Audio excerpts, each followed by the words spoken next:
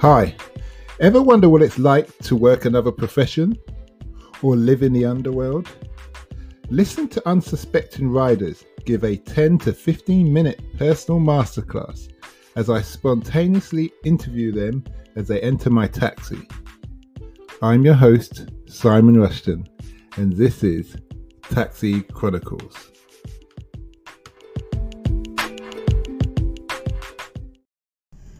Morning, morning, morning. Yes, we're back with another episode, another rider. Today, we've got the lovely guy from up north. I detected his slight northern accent, but actually, to be honest, I thought he was from the West Country. But either way, and now we're just going to have a discussion about the pros and cons of living in London from a new northerner's point of view. So, happy to have you here today. Hey, mate. so tell me first of all, tell us a bit about yourself. How long you lived in London for? So I lived in London since I think 2010, so what, about 10 years now. Okay, okay. And you, I, I could ask you, are you loving every moment? But I know you said it has its pros and cons. Yeah, yeah. So let's share some of what further before you start. Yeah. What was your? I don't know if you've been down to London many times before you moved down here. Yeah what was your first impression, like your thought of what it's going to be like to live in London? Uh, what what my first impression was when I when no, I moved down what, here. So, what was your impression of what in your mind? Oh, what okay. Be like to live in London? Uh, I don't know really. Bright lights, big city, all that nonsense. okay, all right. And then, what did you find when you actually got here? Uh, well, where I'm from in the Midlands, everyone is quite friendly. Uh, I, I kind of uh, felt that it wasn't quite the same when I came down here. Uh, I noticed that people kind of cross the street more to avoid you rather than saying hi, uh, which was a bit of a culture shock. Um, but uh, you know, but once you once you get to know people, they're friendly enough. It's just like strangers on the street. It's just a bit different. Did you find it was a long time to blend in to to become like where you just feel like you're part? Do you feel actually? Do you feel like you're part of the society down there now? Oh yeah, definitely. And did that take a long time for you to before you felt like that? Uh, yeah, probably a couple of years. I would have thought. Years. Yeah, I'd say a couple of years. Um, I spent the first year um, looking for a job, so I, I spent the first year mostly kind of inside the house, like applying for jobs and kind of looking in the local area for bits and bits and pieces. So um, I did a little bit of exploring, but I wasn't really kind of trying to spend your money unnecessarily. Yeah, that's it. so you saved up. You you come straight out of uni or something? No, no, no. My family moved down here, um, so I came with them. I left my career um, that I had up, there and came down and, and started again. Okay. All right. So you moved your whole family down here, and you're looking for work, and you found work, and you said, okay, okay. Um, yeah. I always say Game of Thrones. I take it you're a Game of Thrones guy. Yeah, yeah. Yeah, looking at you, I thought so. Parker is an epitome of England. Yeah. The Lannisters are represent who? Who do you think the Lannisters re- represent? Probably London. Yeah. yeah. it's without a shadow of a doubt. And the Starks. Oh yeah, definitely the North. The, the, and, and the Wildlings. Oh, probably. well, you're probably going to say Scotland. well, I'm glad you said it. well, it's the further north. Yeah, but it's true though. Yeah. Scottish have that kind of free spirit. No man's going to tell them anything. Ah. That's it, yeah. Freedom, the Braveheart, and all that. Wildlings are the best characters anyway, isn't it? Yeah. Tormund. Yeah. But um, I, I have to say, it's not all of us. Um, that bit with the inbred thing. Is, yeah, yeah. Is that represents the royal family? Yeah, yeah, yeah. it doesn't represent the average Londoner. No, yeah, yeah. We're not all sleeping with our sisters down here. Yeah. Oh, we're still twins. Imagine that. That's terrible. Yeah, that's it's, pretty screwed up. Who was your favourite character in Game of Thrones? Yeah. Oh, probably, probably Tormund. Who? Uh, is it Tormund? Is it like Tormund Lionsbane? You know, the, the wildling with the the big ginger Oh, ginger. afro and uh, Yeah, beard. yeah. Yeah. Was you into Dungeons and Dragons? Not really. No, it was something that just kind of like passed me by. I liked him. I've never had anyone tell me that was their favourite character, but there's always a first. Mm. My, I had favourite characters for different seasons. Yeah. yeah, Oh, definitely. Yeah. So the start was Tyrion, Yeah. half man. Yeah. Loved him. I, I went off him because he started to lose the plot. Yeah. But I, I put it down to the script writer, really. yeah. I reckon you you would have been better off telling the um, the actors to write their own script, their Yeah. parts. I know they'd probably come up with a better thing than what happened in season eight and Oh. seven. God. Yeah. I argue that season seven, uh, was it when when he had um, winter, when winter was coming or winter arrived? That should have been a whole season, Yeah. not one episode. Yeah. Yeah. Yeah. That could have been a whole. And you see when she became the Dragon Queen and took over everything was on the stairs. Yeah. That's at least a season and a half. Yeah. Yeah. They needed they- to really yeah, extend they- all they- of that. ah, they, they, they really. Yeah. If I ever saw the scriptwriter, I'd give her a, uh, let him know my mind. Yeah. Yeah. Definitely. Yeah, yeah. They just they Especially rushed after it. waiting a year and a half for a, a season. That's it. Yeah. They put all of this. They, they put all this for hype. in- anything in my life, Yeah. especially that long. That's it. Especially TV wise, I actually waited.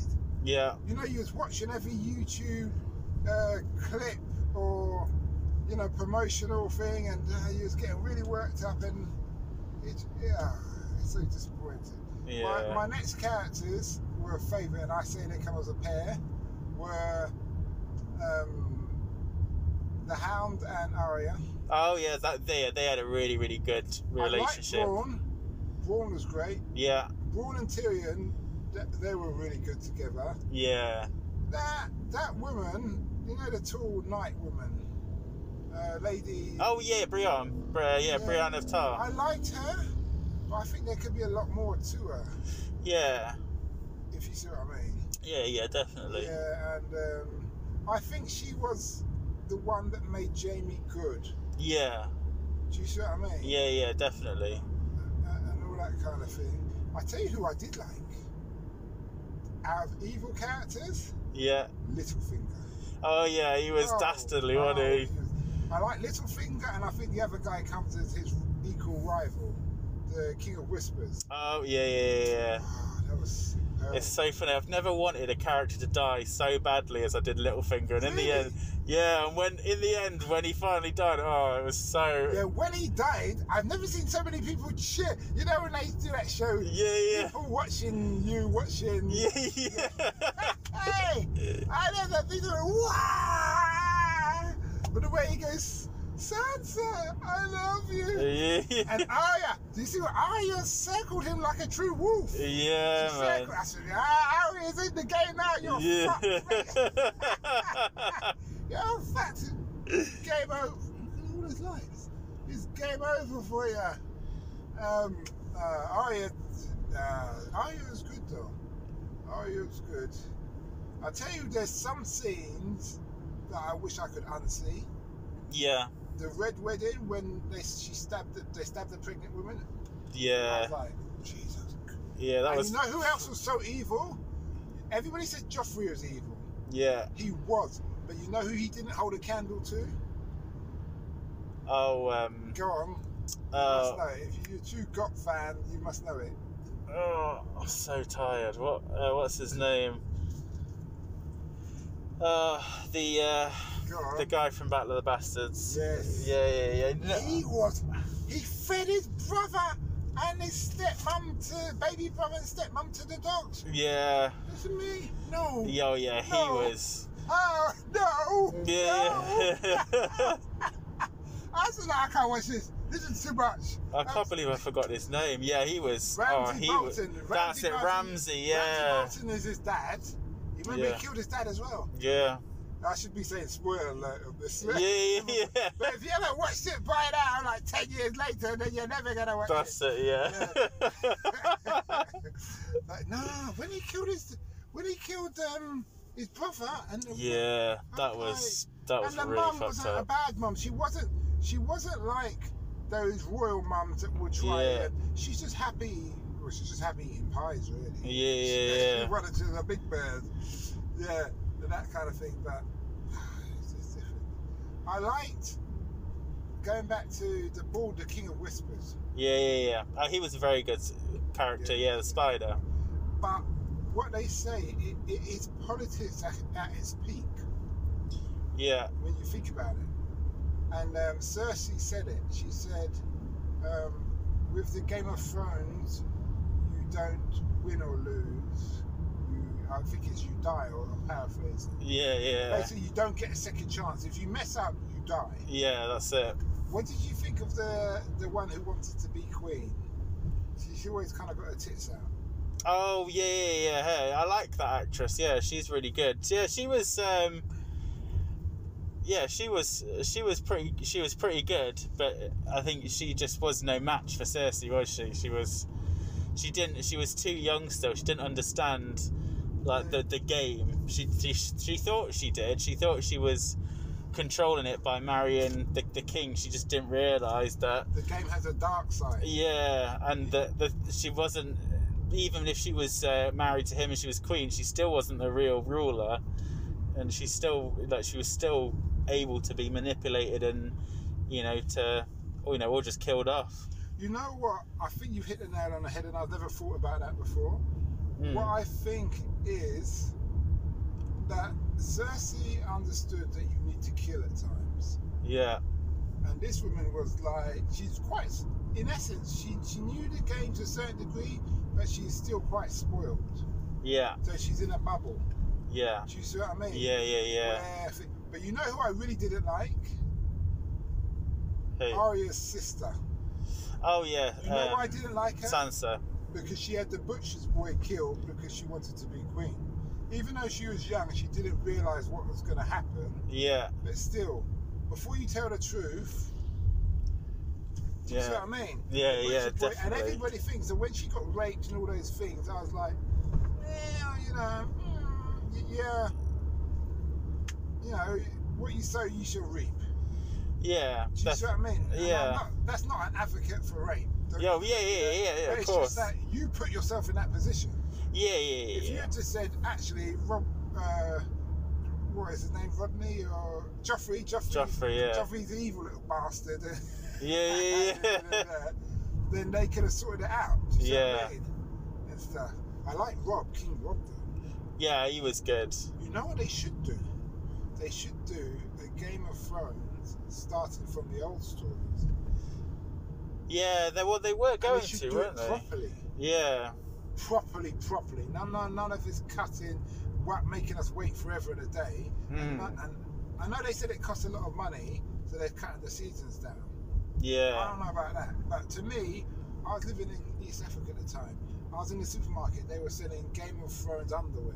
yeah, Do you see what I mean? yeah, So that's too much money to mess up the, the seasons. I don't understand. yeah. I don't get it. I mean, they. I think they. um Unless they knew the COVID was coming. No, oh yeah, no. yeah. I just think they. um They The story. they'd got their they'd got their money. They wanted to move on, but they had to finish it. So they just. Yeah, they- they could have got so much more money though. Yeah, I just don't think they were bothered. I don't think they were that bothered about getting the money. They just wanted to get it wrapped up and done, didn't they? But think of it, it's become a cult. Yeah, It, do you see what I mean? It's more of a cult than like the Pulp Fiction uh, you know, it's, I don't know. To me, it, just, it actually pisses me off to think about it. yeah, Why, why did you... So I've never waited, like I keep insisting, I've never waited for a show before. yeah, I'm yeah. not that kind of guy. I'm busy working, doing my thing. You know, it's just... Mm.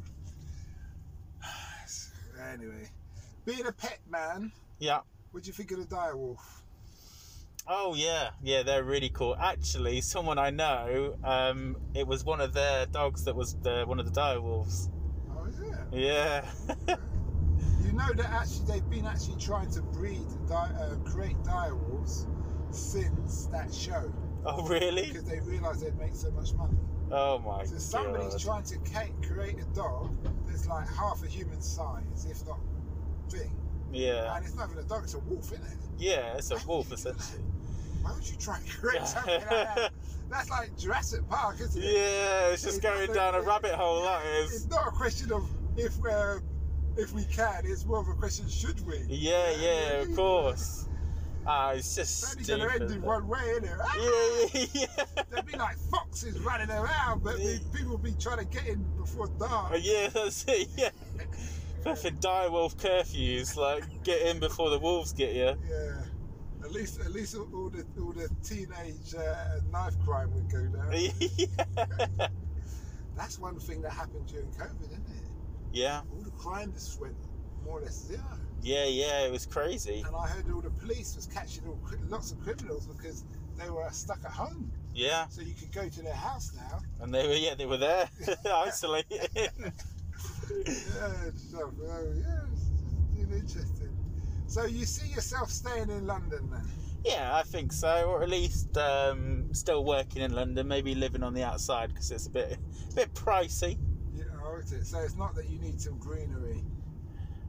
A lot of people Yeah. now move to the outskirts of London for the greenery, and then like for, I see a field and it's a couple of trees, Yeah, and then they can commute in in one or two stops depending where they work, or catch the Yeah. fast train.